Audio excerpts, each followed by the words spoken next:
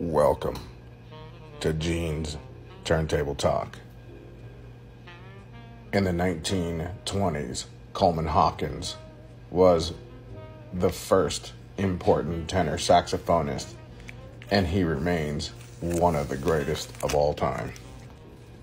By 1944, he had played with Thelonious Monk and Dizzy Gillespie and Don Byas. He had utilized Oscar Pettiford, Miles Davis, and Max Roach as sidemen early in his career. It is believed Coleman Hawkins recorded the first bop session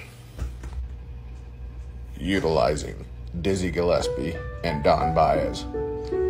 And by the 1950s, he was influencing a young Sonny Rollins. In 1963, he recorded Then and Now on the Impulse label, which contained one of my favorite Hawkins songs.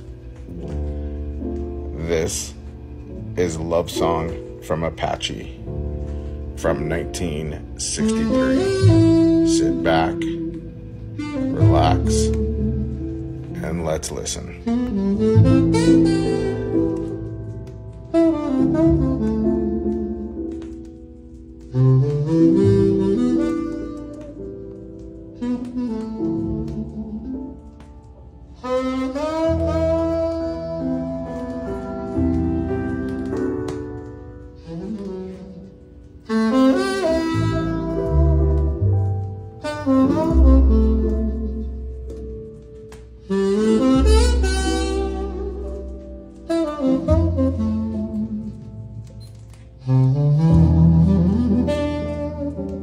Mm-hmm.